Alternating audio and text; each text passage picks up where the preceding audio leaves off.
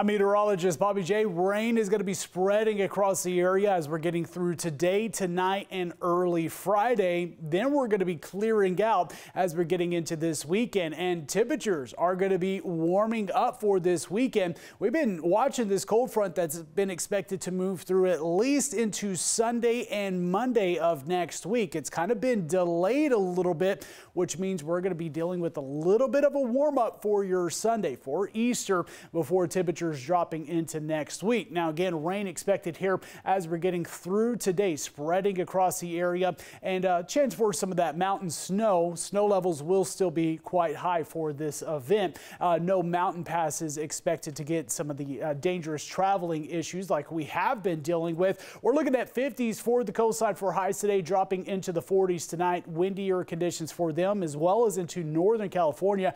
A wind watch is placed for the uh, Siskiyou uh, central Siskiyou County. Uh, 50s for highs might even make it to around 60 degrees here in Medford up to Roseburg. Morning lows will drop off into the 40s. And again, that rain's going to be spreading in the area. It will likely be moving in late in the day east of the Cascades. Highs expected in the upper 40s, even a few lower 50s. And for the valley, we near uh, we continue with the near 60 degree temperature for your Friday. Again, that rain chance diminishes in the morning hours. We're clearing out warming up for this weekend. Likely to see maybe some 70s, our first 70 of the year for your Sunday. And then those temperatures will reverse. We're going to be dropping back down into the, some lower 50s by the middle half of next week. Wednesday does look to be the coldest day.